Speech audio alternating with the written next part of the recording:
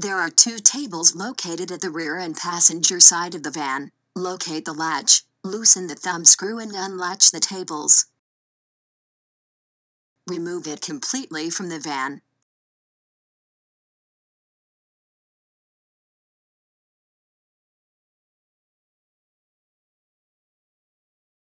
Set up the table. Place the table in desired place and set up chairs around it.